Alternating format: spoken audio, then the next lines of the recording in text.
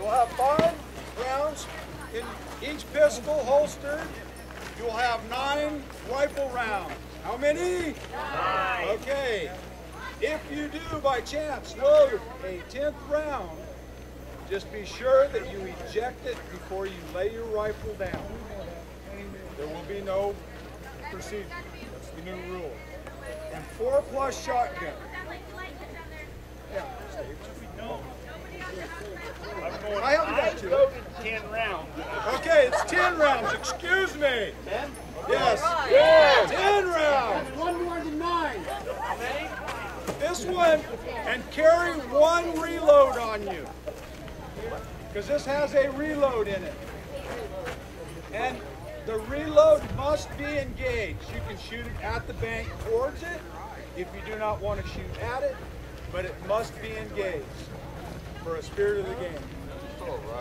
Okay, there's four plus shotgun. So you're going to start at A, which is right here, with shotgun held at port on. And you're going to say, hang on, Tuco. And on the beat, engage the two shotgun targets. Move to B and make shotgun safe. The other A. Oh, to the next A. Yes, and you can do it from either side. And shoot the other two knockdown targets. And then you can leave your shotgun on the, no you can't. You have to bring it back and either make it safe against the wall or in the partner because you're going downrange.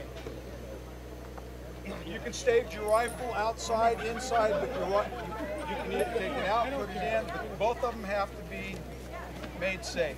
You're gonna, you can take your rifle with you when you're done or put it back in the partner when you get done shooting. But with your rifle, you are going to shoot R2 first, R1, no, right, R1, then R2, R1, R3, R1, R4, R1, R3, R1, R2. That would be 10 rounds. And then you will either take your rifle with you to the bale or make it safe right here. Oh yeah, we, we have a, a reload. And then shoot the little white plate right there. And and if there is no miss, if you hit it, uh, it's a five second bonus. Uh, you can, like I said, you can stay your rifle there or or uh, take it with you and move to the bale. And then you are going to shoot with your pistol same exact thing as you did with the rifle. So you're going to shoot P1, P2, P1, P3, P1. That's the first pistol. Then you're going to pick up on P4, back to P1, P3, 2, P1, and then back to P2.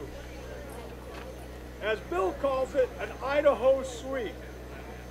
So just remember when you shoot it, you're going to start out on the top target. You're just going to shoot it as a Nevada sweep. It's one, two, three, four, five. Then the next will be one, two, three, four, five, just like that. And, and if you, and, and wait, did